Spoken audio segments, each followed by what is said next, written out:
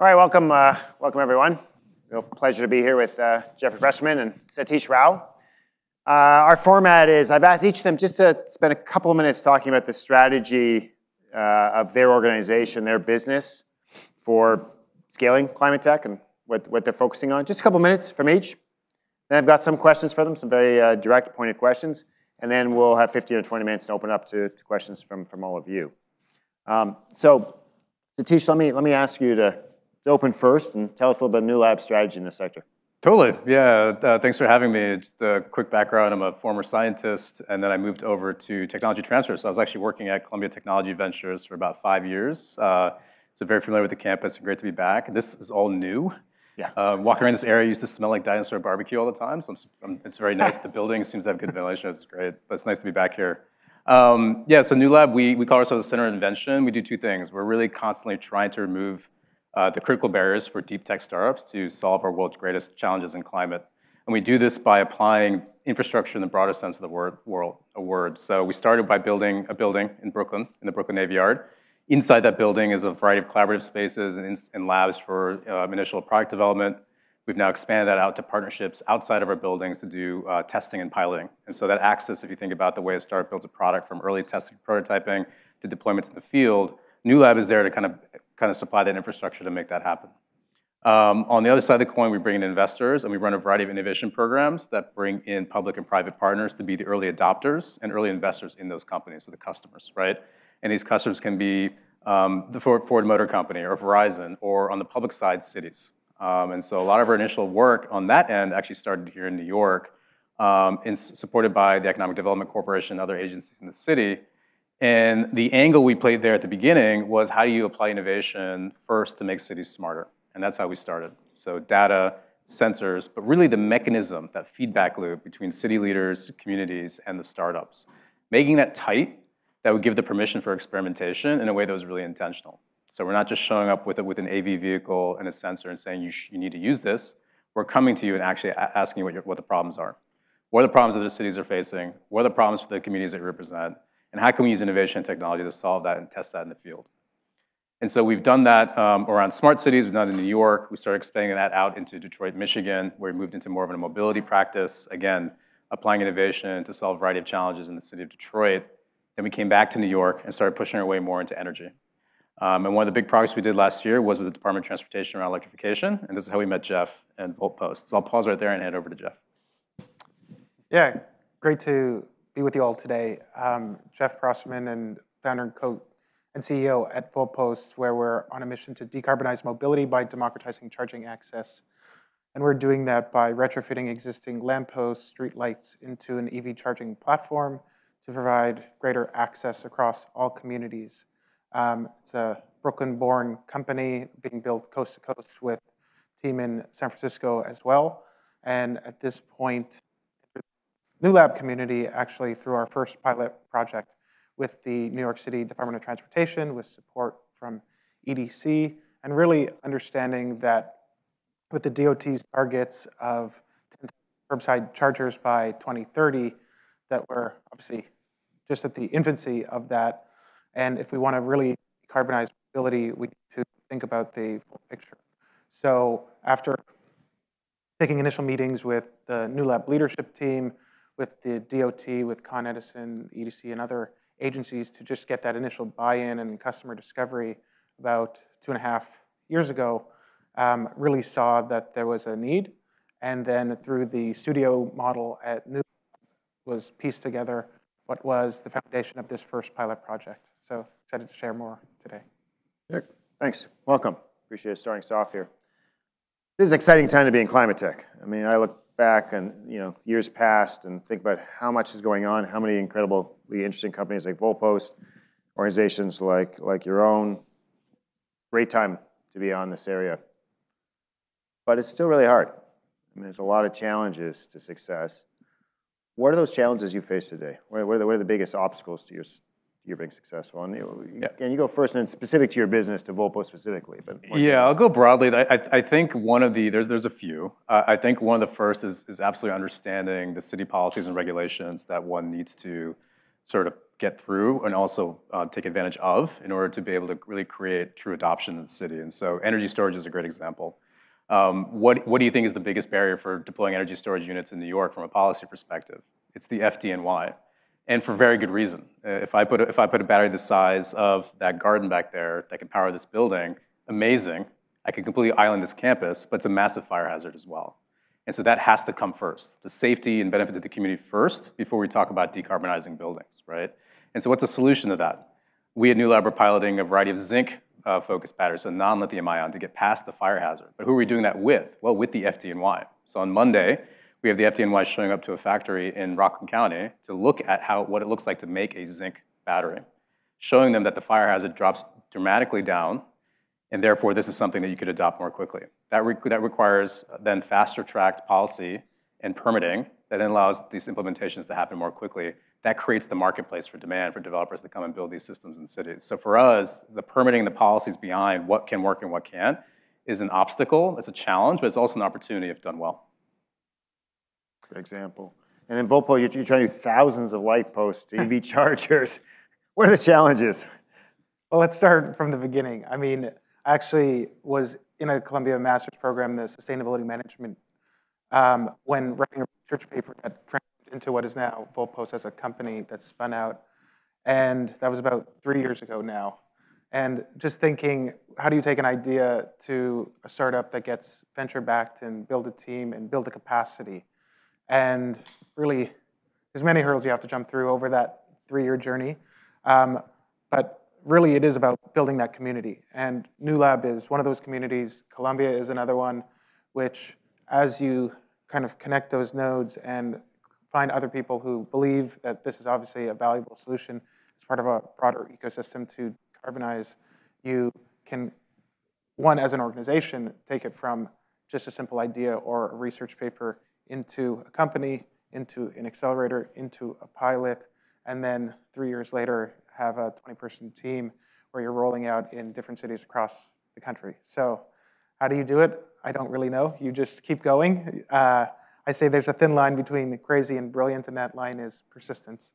And to go on that entrepreneurial pursuit, um, you do have to be a little bit crazy, but and then in the end of the day, when you're starting a purpose-driven company and really see that vision, and you're spreading that vision with others who really want to get behind that because they see the benefits to the broader community in New York City and beyond, then you just figure out how to get there. And, and, I think that benefits to community is worth double clicking on. I think that that's, and the vote Voltpost is a great example of how they're really attacking that, that challenge. You know, if you think about all the great technologies out there in the world, EV charging, EV cars, autonomous vehicles delivering stuff, right? Does the majority of the population in New York really care about that? I have, a, I, have, I have a house in the suburbs in Westchester. I can plug a charger into my garage and buy an EV car. Great, right? How's that impact the 20 million people that are in and around this city? right? And so that the benefit, the access to these technologies is really why you need that community-driven approach. If it's not benefiting them, it's not, if it's not useful for them, if they can't access that, you can't make the progress you need to make in terms of climate. EV chargers are a great example of that. Who cares if they're only in Manhattanville, right? They need to be accessible to the entire population of the city for it to really matter, to motivate the use of e-bikes, to motivate the use of, of, of cars and so on. And so building that into the way you develop that technology the way that Jeff's doing is inspiring, but also it's necessary. And I think that's what's leading to the success that, that Jeff's been seeing. So you both mentioned the word community, and New York City is perhaps infamous for the activism of its communities at various levels, right, right down to where I live. We have our very own block association. Every single block in New York City has its own block association. My spouse is president of the block association. and you know what? We fight everything. Every new change that comes along, someone doesn't like it. How do you manage, how do you, how do you deal with communities? How do you take communities from not wanting to implement these new changes to you know, bring them on their side and being an advocate for the work you're doing at Voltpost or the broader mission you guys have at Newlab? I mean, it starts with being able to communicate the benefits to that community. And in the case with what we're doing, obviously thinking about Citi Bike as a perfect example, example. parallel example, yeah. where many people. My, my blog fought Citi Bike too, by the way. Well, that's exactly what I was going to say. I love it, but then, not others did. then, then many community groups fought in the early days. You're going to take away parking spots, or you're going to disrupt our community and create more noise, or whatever. whatever you may have had as flack. The reality is that you have to build that capacity person by person, block by block in a city like New York. And I think we could all say, fast forward a decade later, the incredible benefits it's providing to the city and to all of us as residents. And really, in a similar path, that had to go through a few years in the early days of that initial site selection. So, from a data perspective, going through geospatial analysis, where you look at things like where should these bikes go or where should these chargers go in a city like New York?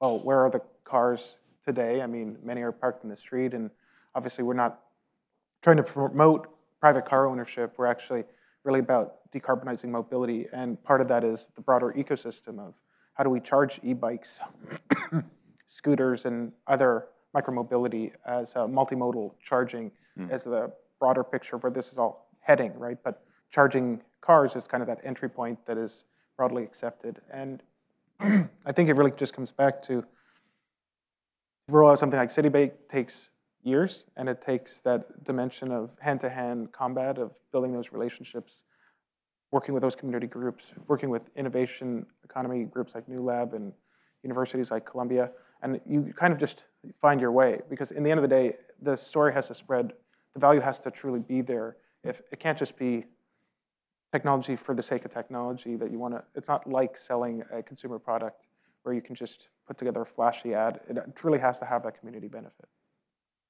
Yeah, and I'll, I'll take that. Uh, we have that same kind of thesis around how we approach innovation in our programs, and we operationalize that with a really strong sense of design in the work that we do. And so before we find, let's say, the Voltposts of the world that have these world-changing solutions, um, we're taking a systems level view of, of, sort of designing a future state we want to live, we all live in. Let's be inspirational. Then let's get human centered to understand what are the actual needs at the local level before you show up with the answer, right? And, and, and that's how we approach a lot of the civic work we've done in Michigan and Detroit. Detroit's the, the really famous example.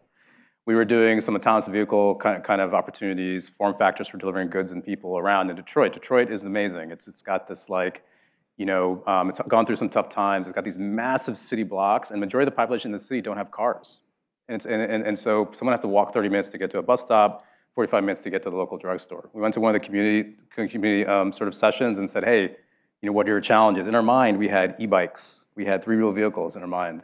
And one person said, we have a population of 60, 60 years and older, mostly women living in this area. Can you imagine riding on a two-wheel scooter?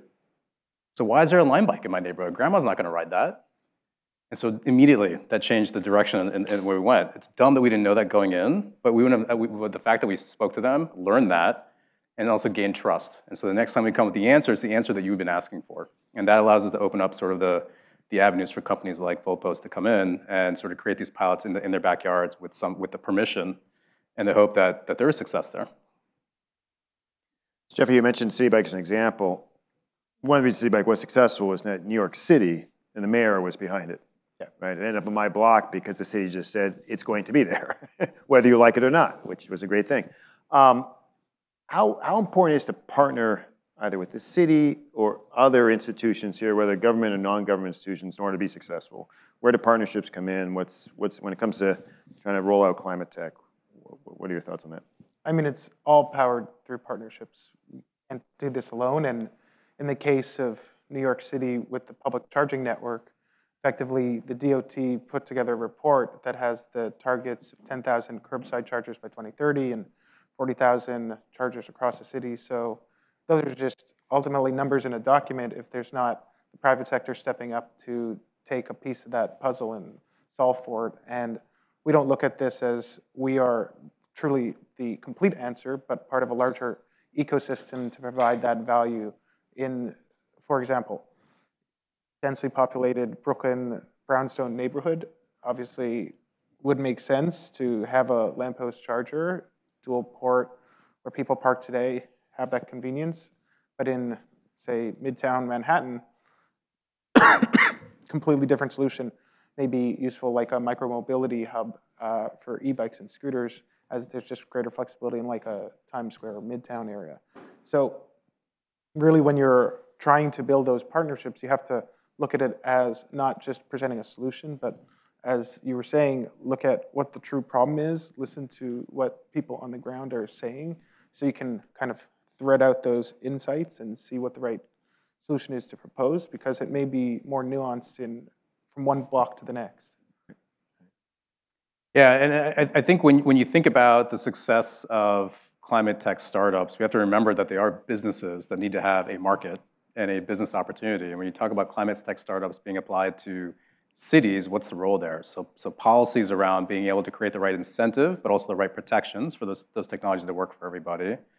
The city itself potentially being a first customer is amazing, right? So if New York was, becomes a reference customer for a company, that is a massive signal for that company in the marketplace. You want those companies to be scalable to serve the city well for a long time, right? And the third thing, I just, I just see Jenny here in the audience. The third thing is, is being able to open up infrastructure for testing experimentation. So Jenny's from the Brooklyn Navy Yard. This is home to Newlab. They're opening up their infrastructure uh, through, the, through the form of yard labs to be able to create testing environments for companies to, to be able to test and experiment in real environments. New York is pushing this massive initiative around that. So now you're attracting not just the end result, but also the development of that happening in our backyard the more of that that happens here, the more I think we can draw attention to that from communities and other policyholders and things like that. The more it's created in New York and then deployed in New York, that's a great story to tell when it relates to climate and tech and sustainable cities. So in many ways, New York City, despite its many challenges, is actually a tremendous place to, be doing the kind of work you're doing. There's, there's, there's other network effects going on. So I'm a big believer that change happens partly because of macro trends, big trends that sort of maybe in the background, we're not even really thinking about them, but they're actually pushing your businesses in the right direction. What, what are the macro trends you, you, you see out there that really make a difference to where you guys are headed? I mean, effectively, the why now starts with policy, with the IRA passing, and there's no question that a major reason why climate tech with this administration has pushed forward on all fronts, whether it be storage, EV charging, green hydrogen, et cetera, is because there's policy dimension that now it supports the business case in a way that the market has woken up and obviously funded all this dry powder in the climate tech VC world.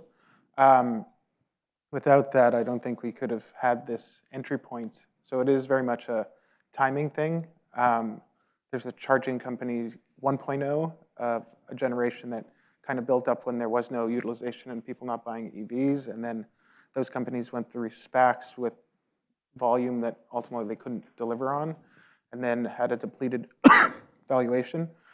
Um, in our case, we're kind of riding that early wave up as that policy is passing, so we're not impacted by any of that other than just seeing the headlines of some of the challenges they've experienced, but really building a business with unit economics that are scalable. Um, and focused on how do we enter into communities in a way that aligns with that public policy dimension that is truly permeating, with budgets being unlocked for charging across the country for the first time uh, just this year and next. Okay, so the policy trend is, is really strong at this point. And your world, that makes all the difference. Thoughts on either policy trends or other, other trends you're seeing out there? Yeah, so I'll, I'll double click on the policy one for a second. What, what, what that's also what I'm seeing changing is on the startup side, the earlier, earlier hires in some of these climate tech startups are actually policy folks. I was talking to one carbon sequestration company, the number two hire was their head of policy. That's unheard of for a tech company before. Um, energy storage companies having people on their staff at the executive level that are policy or understand cities and urban environments and how to engage those communities. That's taught that your mind is going to like the, the customer and the consumer versus just R&D, R&D technologies. That's a really great sign. Um, I think investors are taking notice of that. On the, on the funding side, we're seeing a lot of funding coming from the federal level. I think we've all seen that focused on that sort of near-term scale. So if, a Voltpost is able to get to that point where they can deploy 100 units in, in, in cities, there is money out there for them to manufacture those things at scale. And so that's a huge benefit because getting to scale is really, when it's ready, VC dollars aren't, aren't the thing that's gonna fund the factories, right? So you need that money to come from somewhere. Cities can't subsidize everything, not even in New York. And so where, where is that bridge coming from? A lot of federal and state dollars that can support that. So that's a great trend to see, to see as well. Nice, two different questions. Um, Jeffrey, issue around um, ensuring equity in the outcomes of your, of your, of your business model. So obviously there's a lot of a lot of places you can install charges. Some make more sense than others commercially. But there's also the issue of how do you balance equity in communities so that uh, ultimately everyone's getting the right access. How do, you, how do you think about that? How do you deal with that? And again, New York City in particular is a particularly complex place to ensure equity. Yeah, I mean that uh, it's built into the DNA and our values as a company in that by retrofitting existing infrastructure, we can deploy for significantly less cost without construction and trenching in significantly less time, without taking up new space in the curb. And with that, it enables us to have unit economics where we truly can deploy across all communities and thinking about transit deserts and not really only the wealthier neighborhoods that may be the early adopters to EVs, but actually thinking through like that Citi Bike example. You want to build a network, and in order to do that, you have to be thinking about truly all the different factors. Um, NYSERDA has these disadvantaged community maps as to where they propose getting certain incentives that would tap in for the New York market more effectively in the per charger deployed, which is built into the policy lever and the incentives that a company like us can access, but truly beyond the economic rationalization, I think we just see that as a purpose-driven company with that decarbonization goal, one, two, to build stronger, more resilient communities, and three, to create local jobs and upskill workers um, to support with the operating and maintenance, that there really is an opportunity here to thread the needle where that purpose and profit are one and the same, and it's not you do one and then you figure out how to give, give away the, after the fact. That it really is part of the DNA in everything we do. Yeah, one, one um, I, agree, I agree with all that, and Newlab has that same, has a similar mindset across some of the programs we work on. Another thing I'll add there that is, I think ties to equity is resilience. And so, so if you look at the way, you know, New York, you know, clearly, I, I, think we've got a resilient city already that's able to sort of withstand a lot of what the climate is sending our way. But think about us compared to other areas and cities in the, in the world um, or in the country, like a Detroit. I'll go back to Detroit, that's where our other location is, where increasing issues with climate are leading to power outages, right? Lack, lack of power. So I'm going to electrify a neighborhood. How do I guarantee that access? How do I guarantee continuous power and energy, despite the sort of the, the challenges we're facing with climate and the, and the weather? And so in Michigan, for example, we've launched what we called a Michigan Resilience Zone in cooperation with the local utility there and a variety of public and private agencies to basically create a zone where we're going to install a variety of chargers. Jeff hopefully will have some Voltpost units there as well. So chargers for access, some of those chargers are being attached in lots connected to churches and other sort of nonprofit organizations to create an economic loop. So if you're going to charge your vehicle, charge it in the church parking lot. There's money that's made by, that's given to the church as a result of that. And then what that creates is a zone that's basically resilient because it's islanded for all the community that's living in, in, that, in that space, right? And so that to me is like a holistic approach in terms of how you answer equity, um, sort of in terms of access, in terms of economic to, to, uh, benefit, as well as a place you go to and you can be guaranteed power every day, regardless of the type of home you live in. And so to me, like that's that's sort of like the holistic approach to you go to a community. When we did that at the beginning, of course the, the feedback was positive at that point. Again, we showed up with that thought, we didn't show up with the answer right away. I think that can be applied to a lot of different pockets and neighborhoods in New York to start and kind of expand it. Uh, one, one, or two more questions. I want to then open it to the audience. Uh, Satish, you see a range of technologies there a technology or a sector or two that you think at the moment are particularly exciting, you know, ones for, you'd recommend people keep an eye on at this point, or whether you guys are really focused on at this point? Yeah, that's, that's a, there's a lot going on um, at Newlab. Yeah, it's exciting. Um, so one comment, one thing that we're really excited about is a lot of the non-lithium ion technologies we're seeing in the world. And I'm double downing on that because I think that lithium ion, it's needed, it's really important it's a diminishing resource in the world and it's got a variety of fire hazards associated with it. And so my personal opinion is I think there is a ceiling we're gonna hit in terms of lithium ion batteries. So lithium ion batteries are now everywhere. They're in your phone, they're in your cars, and we're trying to scale them up to be bigger to, to, to supply longer duration power to our buildings. You can't get past a certain hour with lithium ion unless you build it at a certain scale. There are other technologies coming into play that can extend that. So if I want to power my car, not a big deal if it only lasts for four hours. If I want to power this building, it has to be 24 hours. And so what are the technologies that are coming online for that? Really excited about a lot of the non-lithium ion sources that, that, can solve that. So that's, that's great.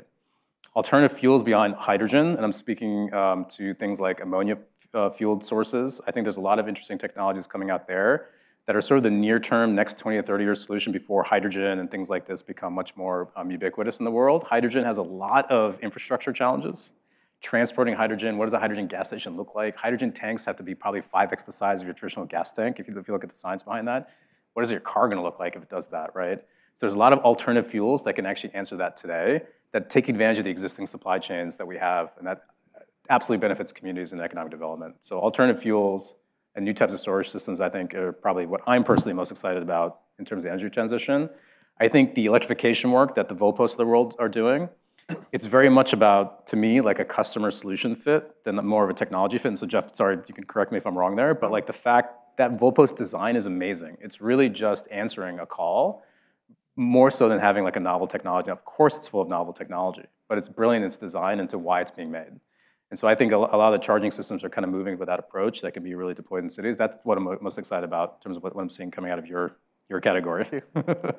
yeah, I mean, I would totally agree with you, though. Yeah. Ultimately, we don't have enough resources in order to stick to lithium ion at scale to fully decarbonize. And where we are it, with Voltpost, by having a modular and upgradable platform approach and thinking about really future proofing and what does the city not just need tomorrow, but something as simple of a plug being adapted by Tesla and other OEMs that we can provide that flexibility, whether it be one plug or another, or whether it be certain breakthroughs in technology in the charging or storage um, greater industries that can be integrated into future modules.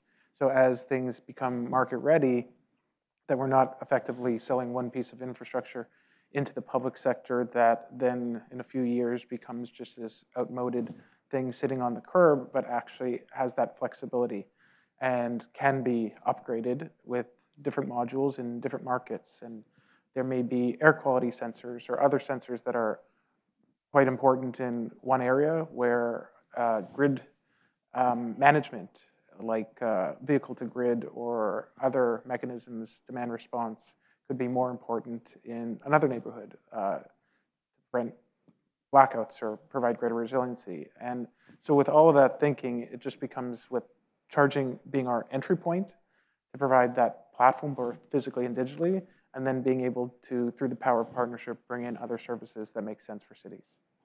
Gotcha. Let me ask one more, one more question. It sort of ties together a number of the topics we, we've covered um, in terms of the trends and in, in climate tech and, and, and the opportunities and the challenges and the like. And a big issue now at this moment in time is how countries, the US, EU, it's one group, China, India, and other countries, are all moving ahead very aggressively in this area in both a cooperative way but increasingly a competitive way. In your work, what do you see as the, the greatest strengths that the US has in this transition, this decarbonization is coming, and where are our limitations? And you spoke to, say, lithium ion batteries. China has an enormous lead in that, in that sector. A lot of the policy has been, is now economic policy around this for, for all these countries. What are your thoughts on that and the things that you're looking at? Yeah, uh, so, so I think the, you know, Europe has an incredible step ahead as it relates to policy backed by public funding, backed by real mandates around climate that's actually pushing the industry forward. So I'll, I'll give you an I'll give you a historical example here that happened in the U.S. Um, Steven Chu was one of the we used to be a former energy chief. He was a scientist at, at, at uh, before that, um, and he was at a talk. He was at a physics conference talk, and he had just taken on the job. And he gets up there and he says, he shows, he says, he's talking about how policy. So not scientists cap, take it off. Why do you need policy and regulations in this world? and he puts up a graph, and it's energy efficiency on the y-axis, time on the x-axis, and it's a staircase. And he was talking about refrigerators. And he said refrigerators back in the 60s, the ice box would, would just be ice around the box. And now you've got these beautiful refrigerators in your home. And here's how that efficiency went over time in a staircase. So can you guess what happened at every point and went straight up? You bought a new fridge. Was it, yeah, there, there, there, was, there was a change in the policy that said now your refrigerators have to do this. And all of a sudden the industry figured it out, right? And so Europe, I think, is ahead of the game in terms of that. We have a lot of challenges, I think, still in being able to push that policies forward that really force industries to change. When industries have to change, that's where investment starts to flow in, and that's where you get more Voltposts coming, right? And so I, policy seems to be the theme of our talk, but I really like, the more I've been thinking about it, you're just sitting here, it's, it's amazing how, how, how, that, how it cascades as a result of that. Where is US incredibly strong? Of course, we're a massive, powerful marketplace, right? We have a lot of smart talent here in this country. We have a lot of talent coming into the country as well. We have a lot of infrastructure. We have a lot of places that would adopt these things and create a real marketplace for companies around the world. So go back to the New York example. If New York was open to the world for non-lithium ion batteries, the whole world would apply to come here and, de and deploy these technologies for us in this city. And so I think we have that advantage to pull the market of climate tech here if the policy investments come behind that.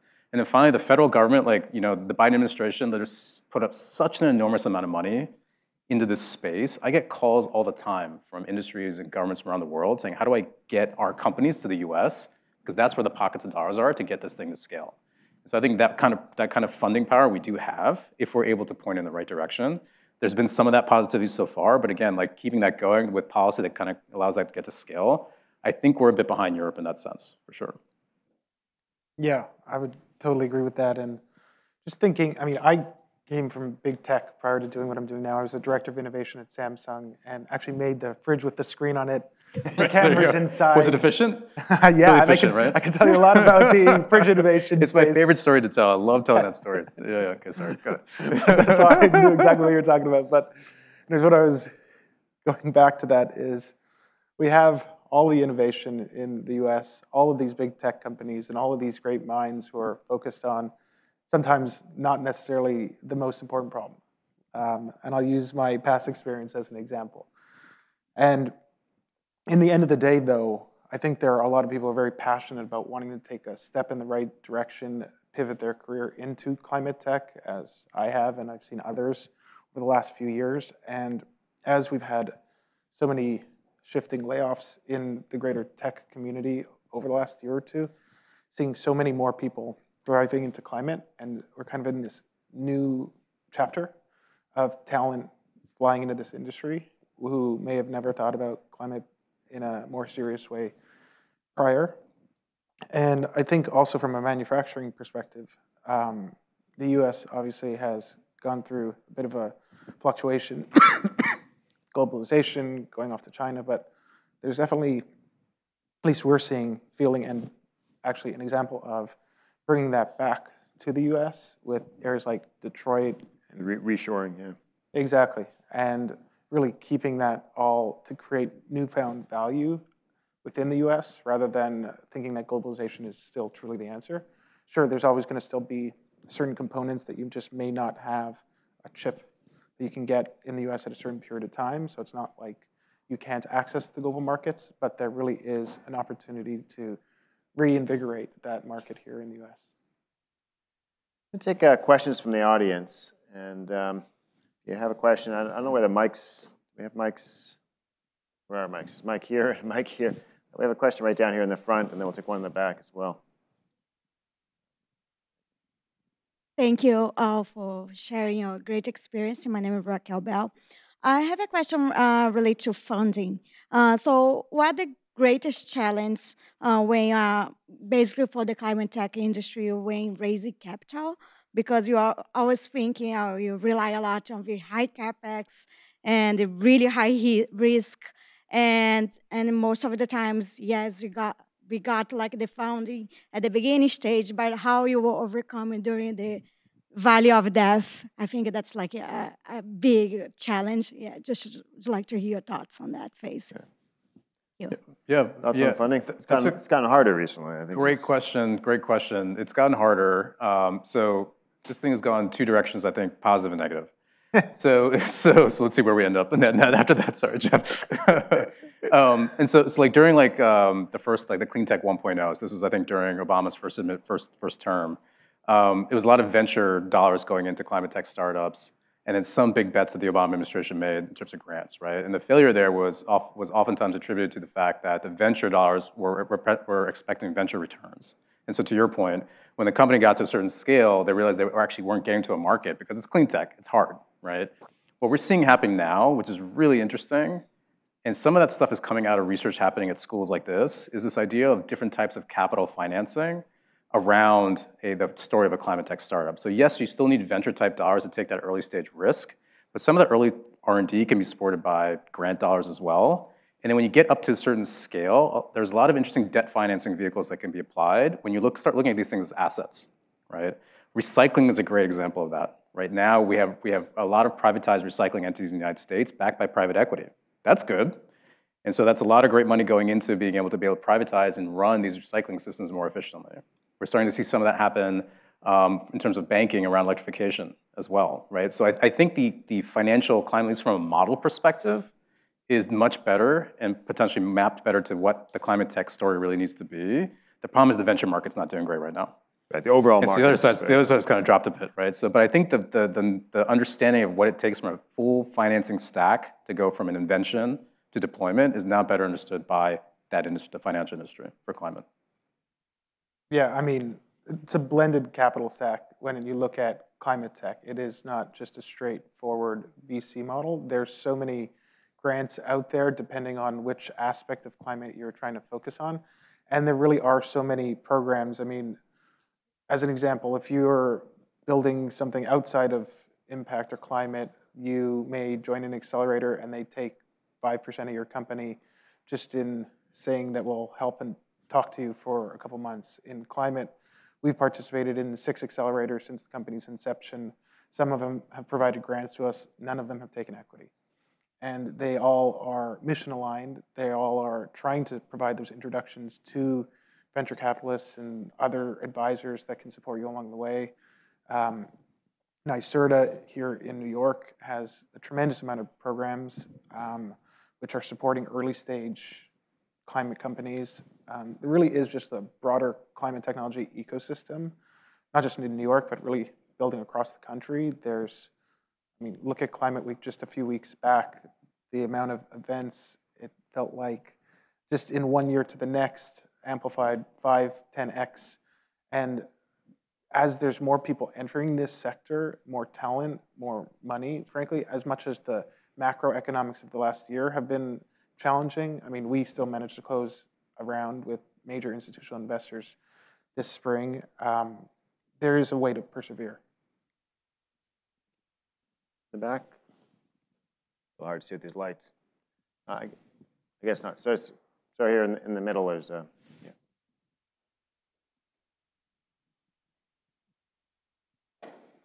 Hello. Hello. Uh, I'm Mohit, uh, and thank you for bringing that policy thing up because I was part of the transition in General Electric for ROHS compliance. And all of a sudden, we had these beautiful lamps coming out, right? Which had no cadmium, no hexavalent chromium in over a year, just one year. So, but my question to you is from your experience, how does one start thinking about these projects? How does one start thinking about scoping ideas without even policy coming into play? Like, what could be next big thing that we can optimize, or what other things that I see in my daily life that I can improve? That's Yeah. that, that's- yeah, I mean, you're, Jeff's the founder, so you should take that first. But yeah, but, but I think generally, like, you know, um, looking at the problem and the user that you're trying to serve first before, rather than trying to take a technology and see where it fits, right? I, I think that's a classic entrepreneurship sort of lesson that's been learned, but sometimes is not necessarily repeated all the time. And so when we do our innovation work and we do our design work in the studios, like we're definitely coming with like, here's what the problem is, here's how we can impact positively, here are the challenges, here are the innovation pathways that we think you can follow. Let's prioritize and figure out what will work best, then go get the technology that, that can work. And, and so that's how we do our process in terms of how we identify startups we want to work with and where we can help deploy them in the field, serving the civic and the industry customers that we serve. And the, the founder, I'm sure, has a much has a certain view there too as well. Well, yeah, I mean, so I was in Samsung basically as an entrepreneur building new business units of where tech and trends come together and say this could be a market opportunity. And it does start with the problem and looking at consumer pain points, trying to find those insights before you just fall in love with the technology. The reason why I go back to that experience, when I was in the Columbia SUMA program, effectively, I wanted to learn the climate science. I wanted to learn the problems. And I wasn't falling in love with a technology. I wasn't even sure if I was going to start a company. But ultimately, in doing research across the board, developed actually about a half a dozen business cases. And it's just simply problem, potential solution, what's the market size or market opportunity, uh, what would be the key features, who are your customer segment, like just go through that, right, in five to six pages of a very simple presentation that you can talk to anybody that you respect or admire, whether it be a professor or somebody else within your network, and start having those conversations. And if, well, I mean, that's basically what I did. I had a half a dozen ideas and said, okay, I want to give you five ideas in 30 minutes, and Voltpost being one of them. And then when people were like, just do that one, I'm like, well, I want to still tell you the other three or four ideas. Like, no, I don't care. That's, that's good. And let me introduce you to somebody, or let me use my social capital or social currency to whatever, get you in front of a VC or get you in front of somebody that I know that could push this idea forward. So sometimes the investment isn't in dollars, but it's actually through relationships. We'll take one more question here in the middle, and, and then we'll wrap up with one last, uh, one last question for our, our speakers here.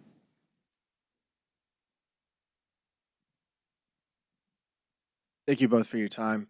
Uh, my name is Anshu Katha. I just had a quick question. If you guys could just speak more on how you work with department and municipal agencies, because you mentioned the part about FDNY, but oftentimes they won't talk to the NYPD or the DOT.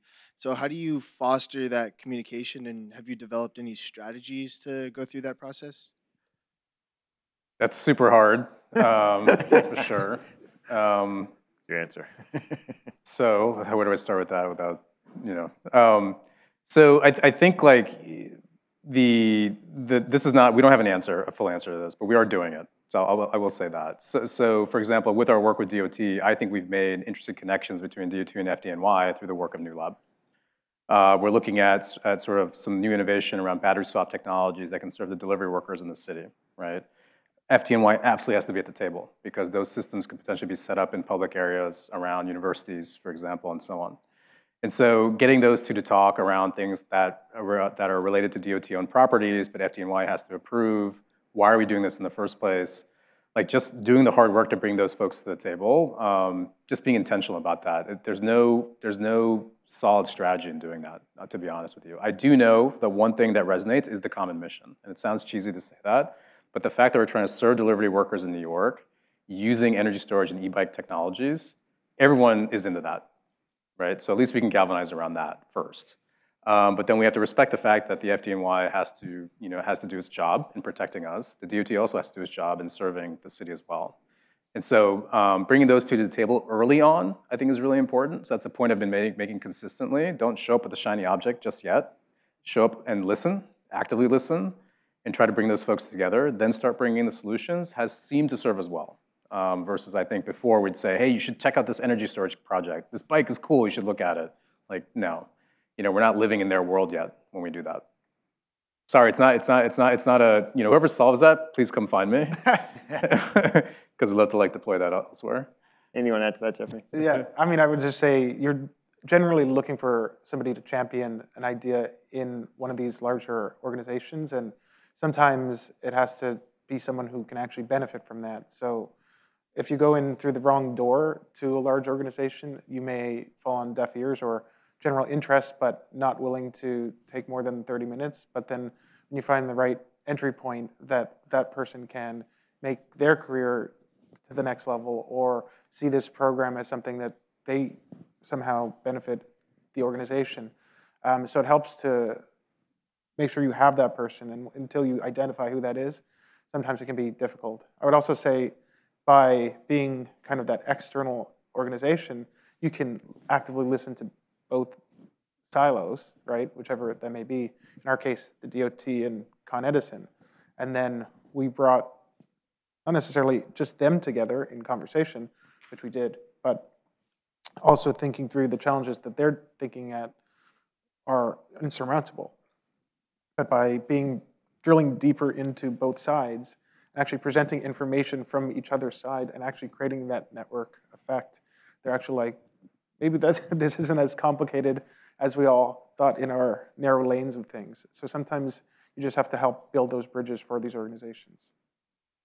We, have, we have two minutes left in, uh, our panel, and I, want to ask our speakers um, one specific question which is for those in the audience who are looking to work in this sector, looking for uh, careers, or for those who are looking to make a career switch into the sort of work that you're, you're doing, what advice do you have for them? What's to start us off? Sure.